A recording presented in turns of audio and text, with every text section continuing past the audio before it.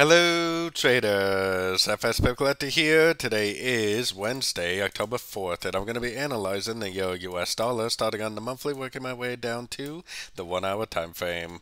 So even though the Euro has been going down pretty strong over the last few months. I still think this is going to end up being an uptrend. I still think it's going to go up and take out these highs, probably make a nice 1, 2, 3, 4, and 5. So let's take it down to the weekly time frame. On the weekly time frame, especially because of the US dollar analysis, I think that this right here is a trend for the wave 1.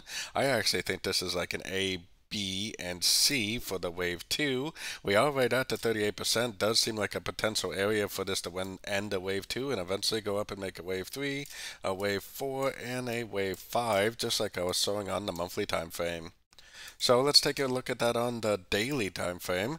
On the daily time frame is where you can see the lower lows, lower highs that make up this move down. This right here for me is definitely the time frame I'm watching to see the end of a trend. For me, a break of structure to the upside is what's going to tell me that this whole trend is over. Until that happens, I am still primarily looking for shorts in a downtrend. So let's take a look at that on the four hour time frame.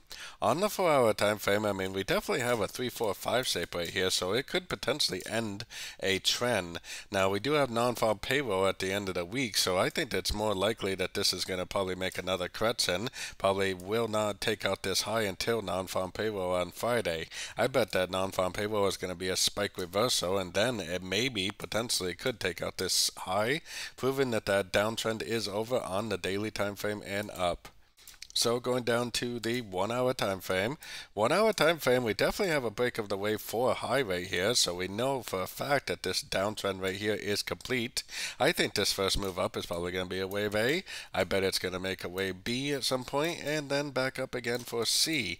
I think it's going to spend the next couple days making a correction and then do one more push down either at the news or prior to the news. And that may be the final attempt to continue the downtrend before we get the break of structure on the daily time frame and up that I was showing before.